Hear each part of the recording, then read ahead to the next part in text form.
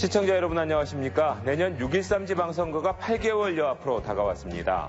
문재인 정부의 중간 평가가 될 것으로 보이는 가운데 정치권의 발걸음이 빨라지고 있는데요. 오늘 정재영의 파워 인터뷰에서는 최근 지역에서 정치 행보를 재개한 강기정 전 국회의원과 함께합니다.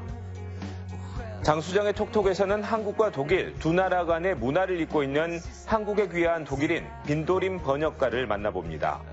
열린 공간 톡 지금 시작합니다.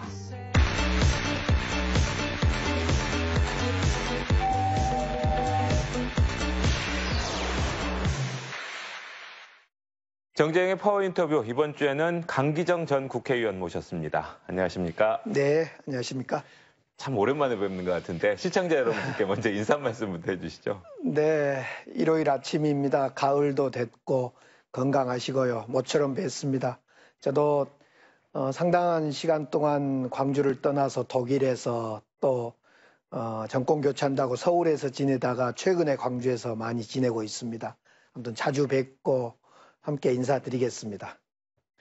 네, 방금 이제 독일 말씀하셨는데 지난 총선 이후에 이제 독일로 네, 떠나셨지 네. 않습니까? 그래서 어, 제 기억으로는 한 6개월 정도 어, 그 머무셨던 걸로 네, 기억을 하는데 왜 떠나셨고 거기서 무슨 일 하셨는지 이야기 좀 해주시죠. 제가 이제 대학 다닐 때 전기공학을 전공했습니다.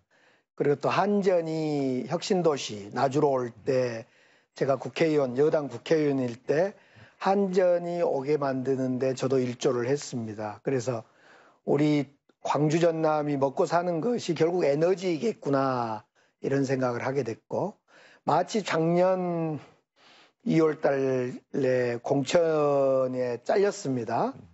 어, 김종인 비대위원장으로부터 공천이 잘려서 잠시 쉬게 됐는데 뭘 하지 하다가 독일을 가게 됐습니다. 독일의 에너지를 봐야 되겠다. 그래서 어, 독일의 베를린 자유대학이라는 곳에 방문학자로 한 7개월 있다가 대선이 급해져서 촛불 때문에 대선이 빨라져서 도중에 들어오게 됐습니다. 그래서 주로 독일 베를린 자유대에서 에너지에 대해서 사람도 만나고 기업도 보고 또 정책도 살펴보는 그런 시간을 가졌습니다.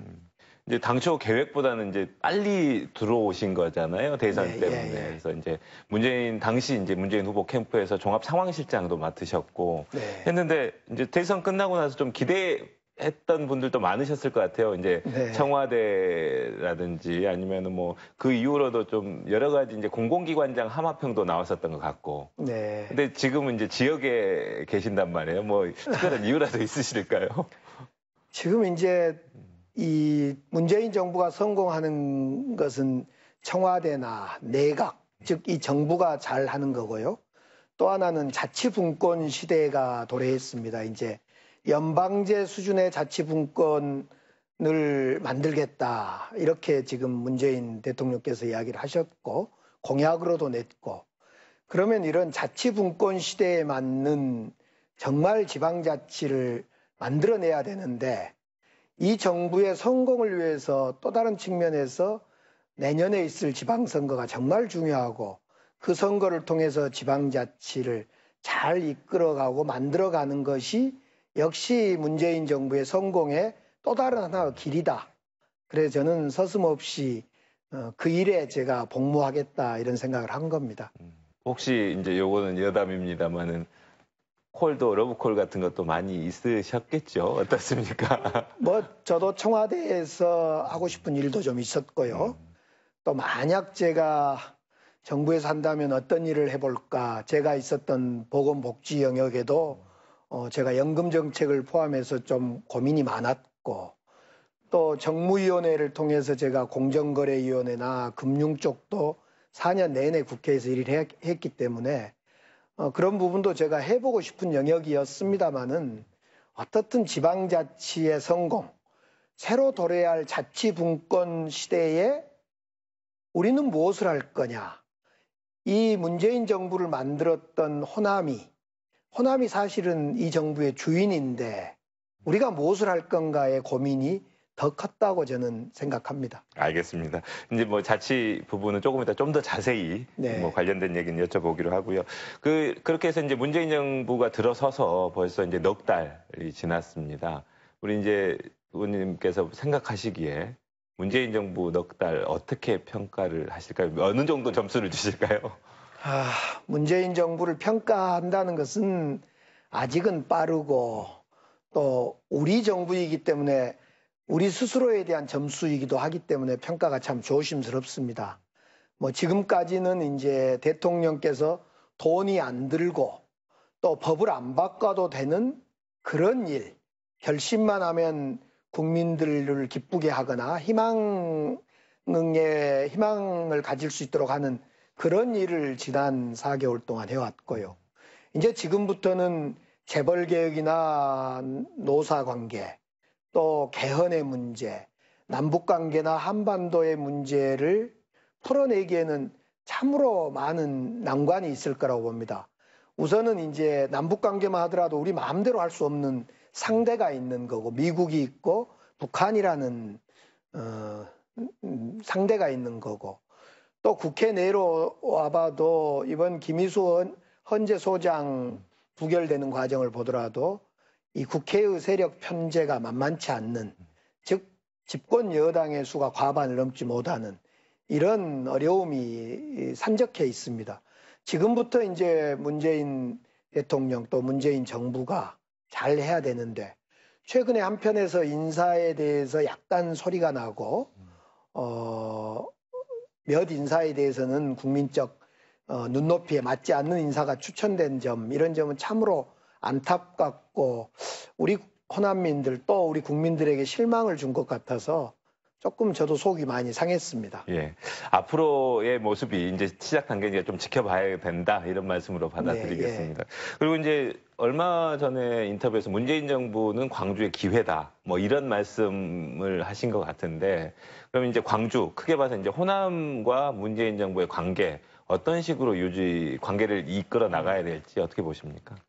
우리 광주가 그 동안에는 역사적으로 한 세 번의 고립의 경험이 있습니다. 80년 5월에 고립이 한 번 있었고 90년대 김대중 대통령만 빼고 3당 합당이라는 걸 통해서 호남이 고립됐던 적이 있고 최근에 이명박 박근혜 정권 들어서 역시 호남은 소외되고 차별받고 고립됐던 역사가 있습니다. 그런데 어떻든 정권 교체를 통해서 이 문재인 정부를 저희들이 만들어냈습니다. 그냥 그 문재인 정부의 정권 교체가 아니라 사실은 촛불과 호남이 결심을 해서 이 정부를 탄생시켰습니다. 그런 점에서 호남의 정권이자 촛불의 정, 정부다, 정권이다, 이렇게까지 어, 생각해도 전혀 어색함이 없을 것 같습니다. 그런 만큼 이제 이 정부의 성공은 호남의 성공과 일, 일, 하나다. 그러니까 이 정부가 성공하려면 호남이 성공해야 되고 호남이 성공하면 이 정부는 또 더불어 같이 성공할 거라고 생각합니다. 그런 만큼 호남의 성공을 위해서 정말 우리가 어떻게 노력할 거냐. 우선은 당장은 어, 호남에서 추천되고 어, 발탁된 호남 인사들이 이 정부에서 일을 잘해줘야 된다는 것이 첫 번째고요. 두 번째로는 내년에 지방자치선거에서 정말 어, 자치 주권 시대를 활짝 열 수 있도록 호남이 준비하는 것이 두 번째이고 더 나아가서 문재인 정부 5년 동안 정말 호남이 특히 광주의 성장 동력을 잘 만들고 연구해서 정말 이 정부가 우리에게 기회로 다가와야 된다. 정권 교체는 몇 번 저희들도 해봤습니다. 김대중 대통령으로도 해봤고 어, 노무현 정부로도 해봤습니다. 이번 또 정권 교체를 해봤습니다. 문제는 성공한 정권 교체를 꼭 이루어야 되는데 지난 김대중 노무현 정부 때의 정권 교체를 성공했냐라고 묻는다면 절반의 성공이었기 때문에 이번 문재인 정부는 꼭 성공시켜야 되고 그 성공의 주역이 우리여야 되고 우리가 그러면 이 성장 동력을 만드는 일부터 자치 역량을 키우는 일부터 우리가 잘 준비하는 일이 과제다 싶습니다. 네. 그 이제 기회일 수도 있고 위기일 수도 있고 한편으로는 근데 이제 그, 뭐, 일각에서는 벌써 내년도 정부 예산안 나오고 나서 호남 예산 홀대, SOC 예산 홀대론이 나오고 있, 있지 않습니까? 이제 국민의당 안철수 대표가 먼저 제기를 하긴 했는데, 일단 그 호남 SOC 예산 홀대론에 대해서 우리 의원님께서 동의를 하시는지 어떻게 생각하십니까? 제가 2011년도에 어, 예결위 간사를 했습니다. 민주당 예결위 간사. 그래서 2012년도 광주 예산은 사실은 제 손을 거쳐서 많이 편성되기도 했습니다. 제가 예결위 간사를 해본 경험에 비춰볼 때 이번 안철수 대표가 호남 홀대, 특히 예산 부분에 홀대가 있었다라고 지적한 부분은 우선 사실관계가 전혀 맞지 않습니다. 예를 들면 호남 음, KTX 2호선 이제 에, 예산을 예를 들면서 지자체에서 3천억을 요구했는데 154억만 반영되어 있다. 그래서 호남 홀대다. 이렇게 지적했는데 실제로는 154억 정부 예산이 반영된 건 맞는데 작년에는 얼마가 반영됐냐면 75억이 반영됐습니다. 그러면 안철수 대표는 이렇게 말씀을 하셔야 됩니다. 작년에는 75억이 반영됐고 올해는 154억이 정부 예산으로 반영됐기 때문에 두 배 이상 반영됐다. 단지 지자체에서는 광주시에서는 3천억을 요구했는데 어, 그 지자체의 요구가 잘 어, 검토되지 않았다. 이렇게 말해야 되는 겁니다. 오히려 우리 지자체에서 더 신중히 검토하고 정부의 반영 요구를 잘해야 하는 것이 과제였는데 마치 정부가 이 문재인 정부가 작년보다 올해 예산의 반영을 덜 하는 것처럼 이렇게 말하는 것은 그걸 알고도 말했다면 그 매우 정략적인 거고요. 몰랐다면 당대표로서 조금 아쉬운 점이 있는 거죠.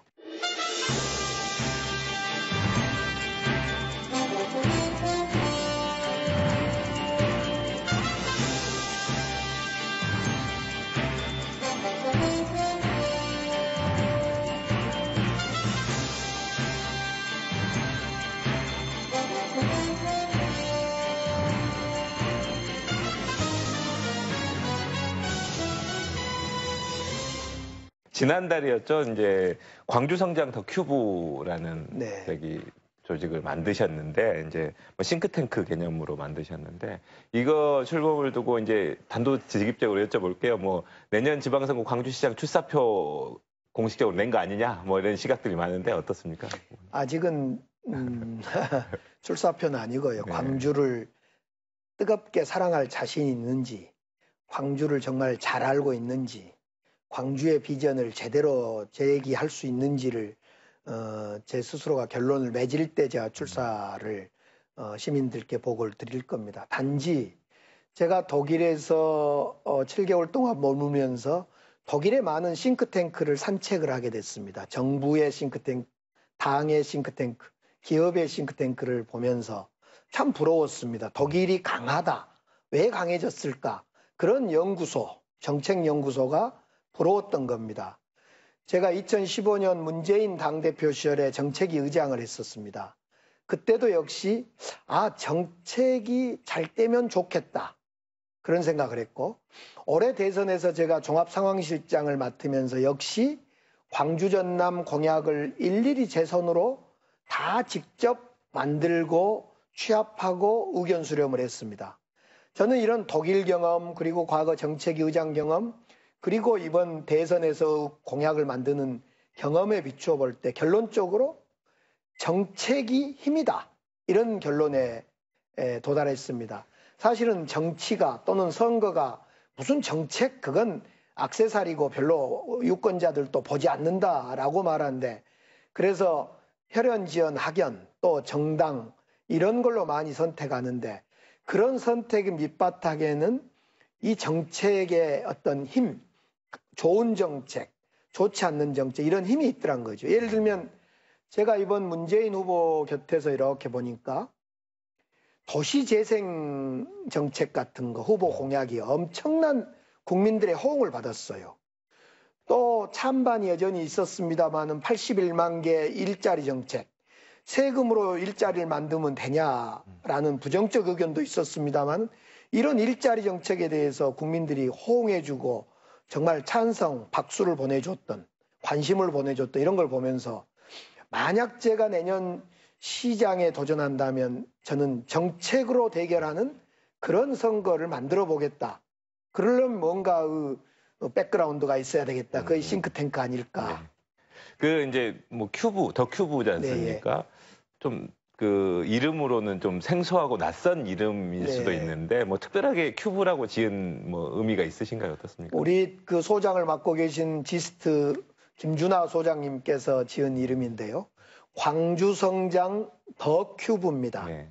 이 큐브는 어렸을 때 저희들이 37개의 조각으로 이렇게 에, 맞히는 놀이를 많이 했던 그런 놀이 기구이기도 하지요. 요즘에는 많이 사용하지 않는데 27조각입니다. 3 곱하기 3 곱하기 3.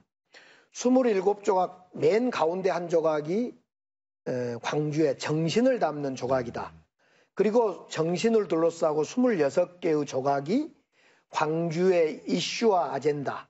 예를 들면 어, 광주역을 어떻게 할 거냐, 광주 군공항을 어떻게 할 거냐, 광주의 일자리를 어떻게 할 거냐, 청년 일자리를 어떻게 할 거냐, 이런 26조각의 이슈와 아젠다를 정해서 어, 정리하겠다 이런 취지인 것 같습니다. 그래서 이제 지난 19일 날첫 포럼을 여셨어요. 네, 그때 예. 이제 스마트 스마트 시티를 주제로 하셨는데 네. 첫 번째 첫 번째 주제로 그거를 이렇게 정하게 되셨던 이유가 네. 있으신가요? 어, 이제 미래 사회입니다. 4차 산업혁명이라고도 이야기하고 100세를 넘기는 사회로 어, 초고령 사회로 접어들고 있습니다. 미래의 도시는 어떨까? 지금 우리 광주시의 도시하고는 많이 다를 거다. 미래의 도시는 어떤 모양일까라는 도시의 모양을 좀 그려보고 싶었습니다. 그래서 어, 더 큐브의 첫째 포럼을 어, 스마트 시티, 광주에 어떻게 만들까 이런 주제로 우리 정세균 의장님, 추미애 대표님, 또 국토부, 과학기술부 뭐 여러 정부 부처 관계자들하고 함께 에, 토론을 하게 됐습니다. 이제 앞으로 이제 뭐 26개 아젠다를 하나씩 하나씩 해나가 그런 식으로 해나가신다는 네, 예, 계획이시고요. 그리고 이제 그 지난 5.18 기념 37주년 기념식 때 뭐 이제 의원님이 눈물을 흘리시는 장면이 잡혔어요. 네. 그게 이제 화제가 되기도 했었는데 5.18이 강기정이라는 사람 강기정에는 어떤 의미인지 좀 남다르신 것 같아서 여쭤보는 겁니다. 글쎄 저는 강기정 이름 앞에 매번 광주라는 단어를 어, 놓치지 않고 써왔던 것이 사실입니다. 국회의원 12년 동안 강기정 의정보고서 앞에는 반드시 광주 강기정이라고 제가 써왔습니다. 어, 광주가 5.18이 전부는 아닙니다만 우리 정신에 해당되는 일이기도 하고 80년 5.18 당시에는 제가 고등학교 2학년 때 직접 5.18을 경험했고 그 이후에는 제가 니물리안 행진곡을 부르고 책을 쓰고 망월동의 지킴이가 됐던 것이 저다. 그리고 작년에 에, 독일로 다녀와서 올해 공약을 만들 때 5.18의 진실 규명을 위해서는 헌법 전문의 5.18을 담아야 되겠다. 그래서 제가 문재인 공약의 1번으로 5.18 헌법 전문화 이런 공약을 내걸기도 했습니다. 제가 국회에 있으면서 이명박 박근혜 정권 내내 니물리안 행진곡을 재창하자. 도대체 이 우리의 노래를 우리 광주의 노래를 못 부르게 한 이유가 뭐냐? 많이 싸우기도 하고 소위 투쟁도 하고 어, 법도 내고 그랬는데 결국 안 됐는데 우리 문재인 정부 들어서자마자 첫 행사로 그 노래를 우리의 노래를 부르게 했고 또 단순히 5월의 가족만이 아니라 5월의 진상규명을 위해서 죽어갔던 우리 표정두 열사를 비롯해서 5월에 어떤 진상규명의 과정에서 헌신하고 이름 없이 쓰러져 갔던 그 친구들의 이름을 부를 때 제가 저 스스로도 모르게 그냥 눈물이 났던 겁니다. 네. 알겠습니다. 이제 5.18 지금 이제 국방부 특조위까지 구성이 돼서 이제 네. 그 진일보 한 상태긴 한데 진상규명까지는 아직도 많은 이제 과제들이 남아 있지 않습니까? 의원님 보시기에 가장 필요한 것, 중요한 거는 뭐라고 생각하시나요? 지금은 이제 발, 발포 명령자를 찾아내는 겁니다. 어렵더라도 찾아내야 되고요. 두 번째는 안매장 지역을 역시 찾아내야 되는 겁니다.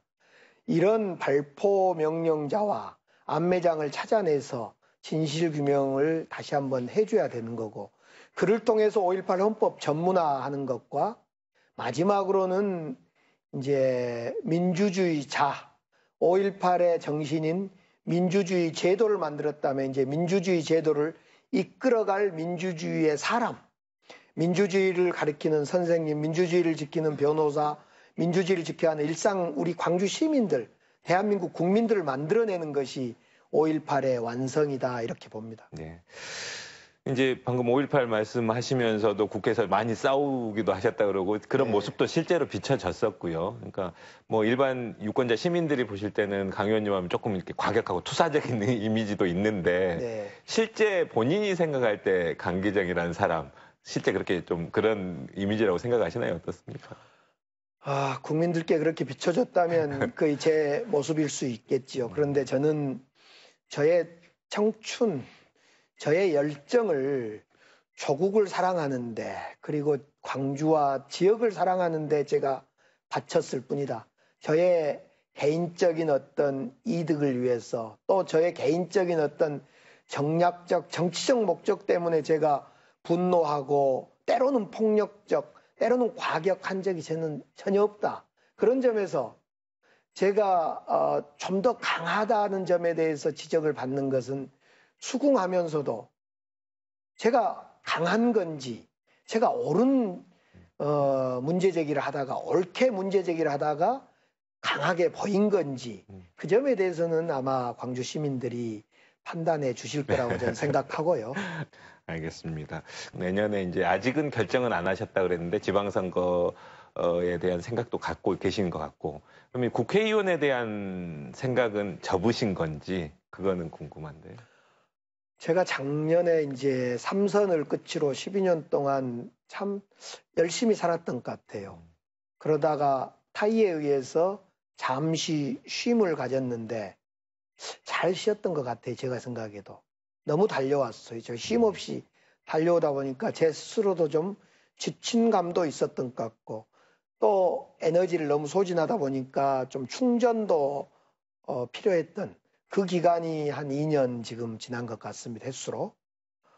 이제 뭘 할까? 사람에게도 나이테가 있다는 것을 제가 새삼 느낀 시간이었습니다. 제가 22살에 전두환 5.18 진상규명을 요구하다가 제가 감옥에 가서 약 3년 7개월을 감옥에 갇혔던 그런 나이테가 있고 또 34살, 만 34살에 어, 국회의원이 되겠다고 도전했던 그래서 38살에 국회의원에 당선됐던 그런 나이테도 있고 이제 내년이면 만 나이로 54인데 내가 내년에 뭘 어떤 삶을 사는 것이 좋을까? 내 인생에 어떤 나이테를 남길 수 있을까? 이런 고민을 하는 어, 과정에 지금 있다. 이렇게 봐주시면 되겠습니다. 열린 결말로 생각하겠습니다.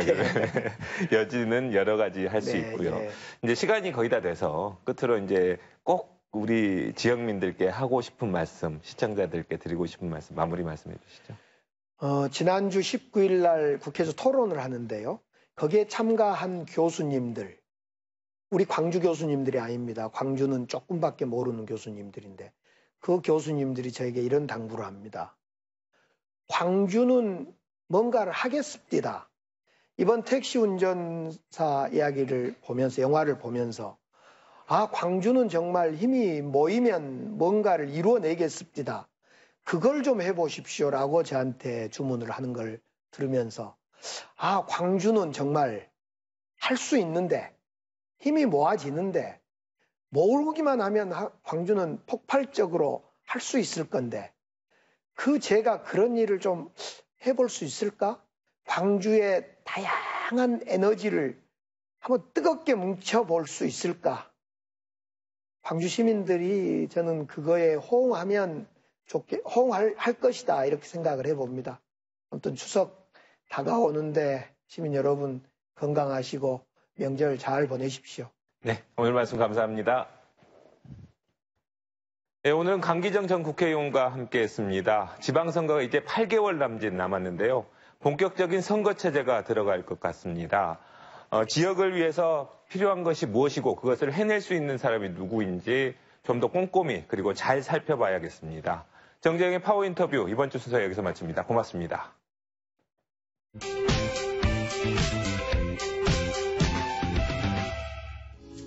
안녕하세요. 솔직하고 시원한 인터뷰 장수정의 톡톡 장수정입니다. 오늘 제가 만나볼 분은요. 독일 출신 귀화 한국인으로 유명한 분인데요. 한국과 독일을 잇는 문화 전도사이자 국내에서 유일하게 밀랍초의 명맥을 이어 공방을 운영하고 계신 빈도림 선생님을 만나봅니다. 지금 만나러 가시죠.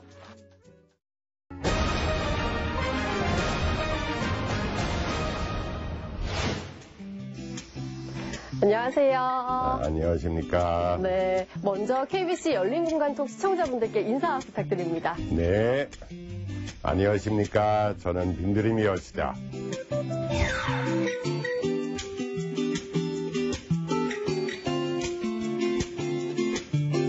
네, 반갑습니다. 여기가 되게 굉장히 자연하고 잘 어우러지는데요. 여기 사신 지 한 어느 정도 되셨죠?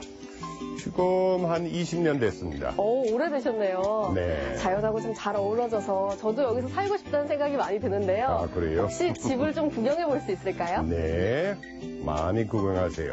네. 그럼 안으로 들어가서 자세한 이야기 나눠보도록 하겠습니다. 예. 따라오십시오.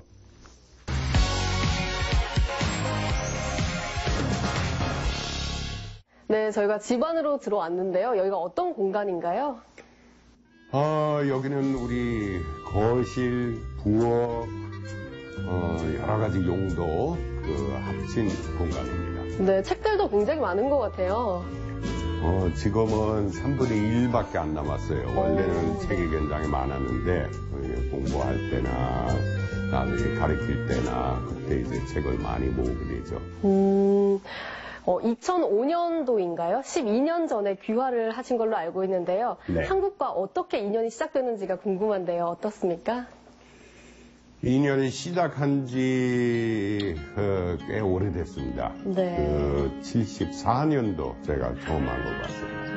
그때 이제 유학하러, 네. 어, 와서 이제 서울대학교 다녔고, 그 다음엔 다시 독일 들어가서 공부를 마치고 어, 또 다시 한국에 나와서 어, 대학에서 가르치기도 하고 어, 독일 대사관에서도 근무하고 어, 이렇게 또그 해가지고 2005년도 이제 마침 귀화한 겁니다. 어, 그 귀화를 해야겠다라고 생각하신 이유가 있을까요?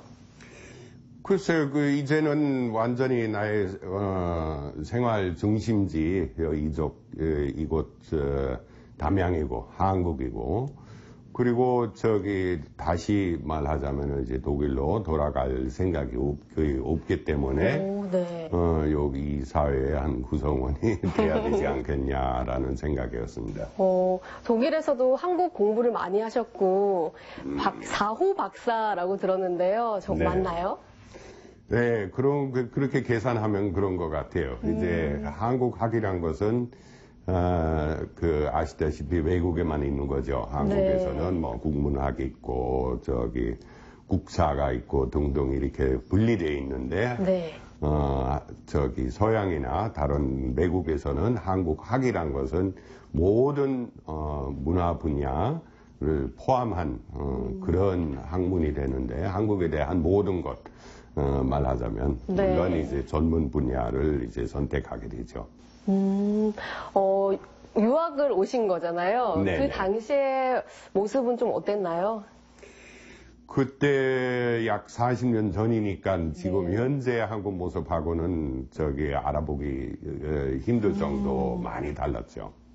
많이 달랐고, 근데 그것도 이게 바로 하나의 매력이 되죠. 어, 그 많이 알려지지 않는 나라였습니다. 네. 특히 유럽 쪽에는 어, 한국에 대한 그 아는 그 지식, 정보 어, 거의 없었어요. 그 중국하고 일본은 이제 많이 알려져 있었지만은 한국은 완전히 이제 백지의 나라 비슷한 그런 어, 정도였습니다. 네, 그래서 다시 독일로 가셨다가 한국으로 오셔서 교수 생활을 하신 건가요? 예, 예, 예. 그때는 이제 독일말 가르쳤죠. 음. 이제 완전히 이제 반대로 된 거죠. 네. 음. 어, 그러셨군요. 그리고 또 독일 대사관 통역으로 가교 역할을 좀 하셨다고요?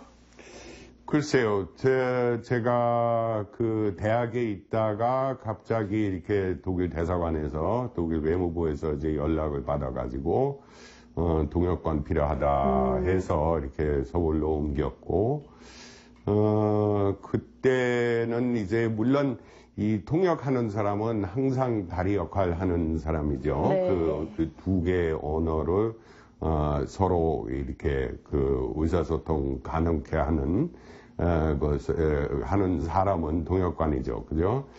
어, 그리고 언어만 아는 것이 아니고, 그, 저기, 양쪽 이렇게 문화, 역사, 네. 배경, 그런 그 사고 방식을, 어, 알아야만이 그, 알맞는 통역을 그, 할 수 있는 거죠.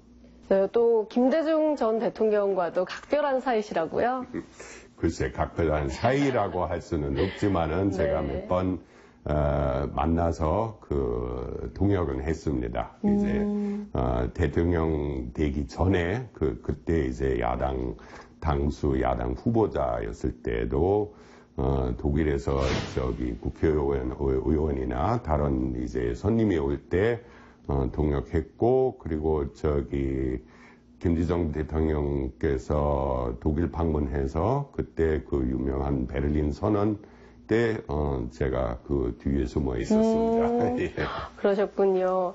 그 귀화를 하실 때 독일로 갈 생각이 더 이상 없다 이렇게 말씀해 주셨는데 네. 그렇게 선택하게 된 매력이 있을 것 같거든요. 어떤 매력에 사로잡혀서 아 한국으로 귀화해야겠다 이런 생각을 하셨어요? 글쎄 뭐 특별한 그때 시점에 특별한 매력보다 네. 그때는 발- 벌써 그곳을 넘어간 거죠. 음. 여기서 이제 일상 어, 생활 하기 때문에 어, 그 매력이라고 생각하면은 훨씬 그 이전에 이제 느껴서 어, 여기 와서 이제 그, 그 저기 정착하는 그런 과정을 생각해야 되겠죠. 근데 어, 귀화할 때는 그 사실 그 전에 하려고 그랬는데 어, 저기 어, 독일 외무부 어, 직원으로서 외교관이기 때문에 네. 그렇게 할 수는 없죠. 음. 근데 이제 그, 어, 그, 그 일을 이제 그만두면서, 어, 또 여기 그 시골에 내려오면서, 어, 계속 이렇게 저기 외국 사람 행세하기에는 조금 어색하다고 신청을 했죠. 네.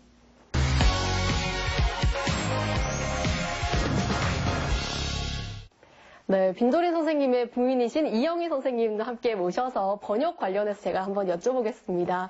네, 두 분이서 번역가로 활동을 하셨잖아요. 네. 공동 번역으로 원불교 경전을 이렇게 번역했다는 얘기를 들었는데, 어, 정말이신가요? 네, 맞습니다. 원불교 교전, 어, 우리가 그 같이 어, 번역을 했고, 어, 그리고 법어집도 하나 그 어, 번역했고, 그건 굉장히 오래 걸렸습니다. 그, 어느 정도 걸린가요? 어려운 그 다 합해서 그 두 권의 책은 어, 한 8년 걸렸습니다. 오, 대작인 것 같네요. 그래요. 좀 어, 복잡하죠. 이 형은 정말 훌륭한 번역자예요. 그래서 제가 생각하기에 굉장히 힘들어 해주시고 그러긴 하지만 어, 그러던 후배들을 위해서라도 하나 이렇게 완성하는 게 좋겠다 이런 작품을 음. 우리 둘이 좀 애썼습니다. 어, 그 평소에 원불교 관련해서 관심이 좀 있으셨던 건가요? 네, 그렇죠. 아무래도 이제 불교 중에서도 한국 불교니까 특별히 한국적인 그런 것도 있고 그래서 또 이제 공부하는 마음으로 어, 했습니다. 네, 번역 일을 하시면서 좀 한국적인 정서나 이런 게 어, 이영희 선생님이 도움을 좀 많이 받으셨나요? 많이 받았죠. 우리는 번역뿐만 아니고 모든 것을 같이 하기 때문에 번역할 때도 이렇게 역시 어, 같이 하고 그러니까 독일말 잘하는 한국 사람하고 네. 어, 한국말 조금 하는 독일 사람하고 어, 같이 하는 것은 이제 이상적인 어, 그런 관계가 되죠. 네, 선생님은 어떠셨어요? 아, 저도 물론이죠. 이제 번역하면서 그 언어 감각이라는 것이 아무래도 어, 외국인이다 보니 네. 떨어지거든요. 그렇죠. 그 나라에 좀 네. 문화나 이런 게다 반영돼 있다 보니까 조금 힘드셨겠어요. 네, 그래요. 그 감정적인 그런 느낌이 탁 와야 되는데 그걸 또 이제 제가 저의 모국어로 어, 바꿔놔야 되잖아요. 네. 그러니까 근데 설명을 굉장히 잘해주세요. 음. 뭘 질문을 하면 그 단지 짧게 설명하는 게 아니라 그 배경부터 시작해가지고 설명을 음. 아주 잘해주시기 때문에 큰 도움을 받았죠. 네, 선생님 그 빈도림 선생님께서 요리를 그렇게 잘하신다고. 아, 네, 그렇습니다. 취미이시고요. 네. 네, 또 굉장히 어, 잘하세요. 그래서 강의도 나가는 걸로 제가 알고 있는데 맞습니까? 아, 네. 이번에 서울의 서초동에서 그 요리 교실을 하기로 했어요. 오. 아, 그러면 실력이 굉장히 뛰어나신 거 아니에요? 아, 그렇죠. 글쎄요, 뭐 그렇게 그 뛰어난 건지 그건 잘 모르겠는데 네. 어, 저기 어, 재미로 그 하기 때문에 또 원래 그 요리 좀 관심 있는 사람은 먹기 저, 저 먹기 위해서 그래서 보- 보시다시피 이제 그 몸도 이렇게 그 굉장히 좋아지고 어, 하는 그런 이유도 있습니다. 가장 자신 있는 요리가 어떤 건지 여쭤봐도 될까요? 아, 주로 서양 요리를 많이 하세요. 음. 이번에 서초동에서 할 요리도 서양 요리인데, 어, 한국 요리들을 하시는 분들은 뭐 워낙 많으시니까 또 서양의 요리를 소개한다는 입장에서 음, 네. 네, 한번 해보고 싶습니다. 어려운 점은 없으셨어요? 글쎄요, 그, 저기, 어, 소위 양식 요리, 어, 한국에서는 아직까지 그, 저기, 일반 주부나, 에, 그, 저기, 가정에서 요리하는 사람은 굉장히 두려움을 가지고 있어요. 아, 뭐, 가끔 이제 텔레비에서 보, 보면은 뭐, 엄청난 뭐, 재료도 뭐, 그, 그 구하기 어려운 또, 저기, 여러 가지 그 복잡한 뭐, 도구 있어야 된다는가, 뭐, 그런 것 때문에 그 집에서 그, 좀, 용기를, 어, 못 내는 네. 그런 사람들이 많아요. 그 두려움을 좀, 어, 어, 완화시키려고 그 내가 이제 그 그런 교육적인 어, 그런 입장도 있습니다. 네, 그럼 저희가 혹시 어, 양초를 아, 초를 만드는 이 공방에 가서 좀 이야기를 나눠볼 수 있을까요? 네, 그럼요. 네, 그러면. 구경하세요. 아, 네, 그럼 그곳으로 이동해 보도록 하겠습니다. 네.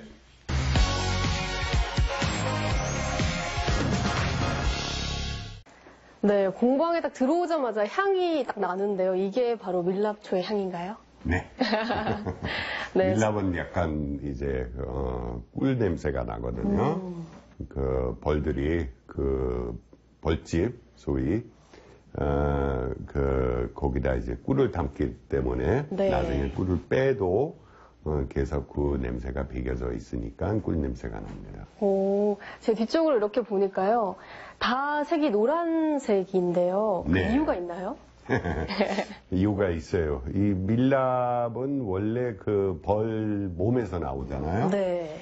아, 몸에서 나올 때는 투명해요. 그 하얀, 하얀색이에요. 하얀색인데, 어, 저기, 그 안에다 꿀하고 그 꽃가루 음, 담기 네. 때문에, 어, 노란색이 그 물들어요. 음, 그래서, 어, 천연 밀랍은 언제나 노란색입니다. 어, 천연으로 쓰면 항상 노란색인 예. 건가요? 어, 근데 뒤쪽에 약간 하얀색에 가까운 초도 있는데 이 초는 뭔가요? 그 초는 오랫동안 그 전시됐던 초예요. 어. 그러니까 색깔이 그 자외선을 받아가지고 바래요, 색깔이. 어, 그럼 이렇게 자연스럽게 색이 하얗게 되는 건가요? 그렇습니다. 어, 저는 이 색도 굉장히 멋있는데요. 음, 그래요. 그러니까 옛날 사람들이 황밀하고 백밀 그 구별했어요. 네, 먼저 한국의 많은 곳들 중에서 전남 담양을 선택하셨잖아요. 그 네. 이유가 정말 궁금한데 그 이유가 어디에 있을까요? 글쎄요, 어느 정도는 우연이고, 음. 어, 친구가 여기 살아가지고 이렇게 여러 번 방문하고 좀 괜찮다고 하는데 그 친구도 이제 그 땅 팔고 싶어서 그 우리가 먼저 조그만한 그 땅덩어리 샀어요. 근데 이제 살다 보니까 이제 담양은 대도시 변들이 그, 그 광주 광역시에 네, 있는, 네, 있죠. 네, 있는 군인데 어, 그러면서도 그 어, 건강한 어, 시골 사회가 아직까지 어, 변함이 없습니다. 그런 게 이제 하나의 어, 큰 매력이라고 생각해요. 그 다른 곳을 보면은 이제 대도시 서울이나 대구나 이렇게 근처에 있는 어, 그 시골 동네는 어, 조금 이상해지는 그런 경우가 이제 난개발이라고 하는 네. 그런 것은 어, 좀 많습니다. 음, 딱 봐도 담양 생활에 아주 만족하고 계신 것 같은데요. 가장 큰 매력을 한 가지 꼽자면 어떤 게 있을까요? 글쎄요, 바로 이제 그, 어, 그 교통면에서 그, 그 대도시까지 우리는 저기 고속도로가 가까우니까 한 15분만 그 가면은 차 타고 가면은 어, 광주 갈 수가 있고 그러니까 물건이나 뭐 저기 사람 만나거나 할 때 어, 그 저기 접근하기가 굉장히 그 쉽고 하면서도 특히 어, 이곳 골짜기는 이제 완전히 그 외부 세상하고 조금 네. 차단된 그런 조용한 그런 그 어, 성격도 있습니다. 네, 제가 이렇게 올라오면서 쭉 봤는데 여기 오신 지 한 20년 정도 되셨죠? 예, 예. 어, 도로가 아주 지금은 잘 돼 있는데 20년 음. 전에는 그렇지 않았을 것 같거든요. 어떤 점이 변화했나요? 많이 변했죠. 그 내가 처음에 하- 그 담양을 왔을 때 한 그 아마 한 30년 전이었을 겁니다. 그때는 대부분 도로들이 어, 아직 그 비보장 도로였어요. 음, 네. 아주 이제 국도 정도 되면은 이제 보장돼 있었지만은 그 외에는 그 지방 도로가 이제 대부분 비보장 도로였고 어, 남도 전체 그런 그, 그 큰, 어, 어, 그 동쪽하고 그 큰 차이가 그 났습니다. 근데 요새는 이제 많이 좋아졌고, 그, 저기, 어, 오시면서 보, 보셨죠. 이제 전부 다 이제 보장돼 있고, 네. 우리 그, 저기, 오지까지 그 아스팔트 보장도 돼 있고, 그- 굉장히 좋아졌고, 또 이제 어, 통신망이 많이 그, 어, 그 거기다 이제 신경을 많이 썼기 때문에 어, 지금은 우리 어, 우리 통신 판매하기 때문에 어, 네. 그 저기 인터넷선 지금 광케이블로 들어오기 때문에 어, 굉장히 그 편리하게 됐습니다. 어, 그때는 인터넷도 안 됐었나요? 처음에는 인터넷 거의 안 됐죠. 이렇게 전화선은 있었는데 그 별로 상태도 안 좋았고 그 굉장히 그 느렸죠. 그 말하자면은 지금은 이제 최고속 인터넷 어, 우리까지 어, 들어오게 됩니다. 네, 밀랍초가 담양의 특산물이 될 정도로 유명한데요. 여기는 오는 길에 보면 꿀초라고 되어 있는데 같은 건가요? 꿀초란 말은 우리가 만든 말이고 음, 네. 예, 듣기 좋게 그리고 이제 꿀과 관련된 어, 것도 있고 물론 거기다 이제 그 벌들이 꿀을 그 담는 그릇이잖아요. 음, 벌집은 네. 그거 가지고 만들고 글쎄요 좋은 것은 이제 일단 그 저기 전현 재료고 음, 어, 어, 타면서 유해 물질이 그 어, 부- 유해 물질을 풍기지 않고 어, 그런 좋은 점이 있고 굉장히 그 어, 귀한 재료죠. 그거 네. 한번 생각해 보시면은 벌들이 한 마리씩 이렇게 조금씩 한 방울씩 이렇게 그 밀랍을 만들어 가지고 어, 굉장히 그 저기 자연의 선물이라는 그런 정도 그 저기 생각할 수가 있죠. 어, 시행착오도 좀 많았을 것 같거든요. 어떠세요? 처음 시작할 때는 여러 가지 어려움, 어, 어려움이 이제 발생, 예, 발생됐어요. 어, 초를 만들 때 우리는 주로 이렇게 담금초를 하거든요. 네. 그러니까 이제 큰 통에다 심지를 담궜다 댔다 하는 그런 식인데, 아, 그 과정에서 일정한 온도가 있어야 돼요. 음, 그 네. 만일에 이제 그 창문 열어놓고, 어, 저기 바람 불면은 나중에 그 이제 얼룩이 생기고, 어, 여러 가지 그런 그 처음에는 굉장히 그것 때문에 그 실험을 했어요. 음, 어, 그럼 담궜다 뺐다를 정말 수없이 반복을 하셔야겠어요. 그렇습니다. 여기 보시면은 이 굵은 초도 있고 가는 아주 가는 초도 있죠. 네. 여기 여기 이제 굉장히 가는 초 이게는 이 정도 하려면은 한 세 번 정도 담그면은 이렇게 나옵니다. 근데 이 그 저기 제대에 올라가는 제대초 이게 제일 굵은 초거든요. 우리가 만드는 것 중에 어 그거 한 3일 정도 걸려요. 그러니 이제 계속 이렇게 어, 불어나면서 그 담굽니다. 네, 또 천천히 살고 느리게 살고 계신 것 같은데요. 사실 요즘 현대인들이 굉장히 바쁘게 살아가고 있잖아요. 네. 네, 그분들에게 혹시 한 말씀 해주실 수 있나요? 글쎄요, 우리도 사실 누리게 살고 싶은데 계속 일을 하다 보니까 그렇게 누리지는 않아요. 그좀 유감스럽지만.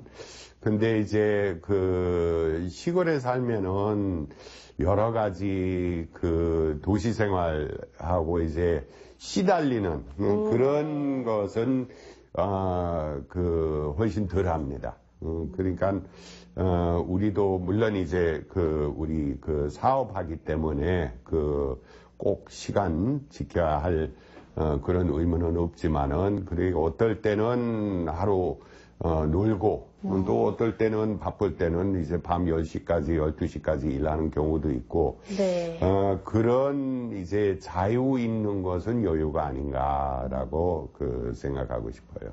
느림의 미학과 지금 입고 계신 개량 한복이 너무 잘 어울리시는데요.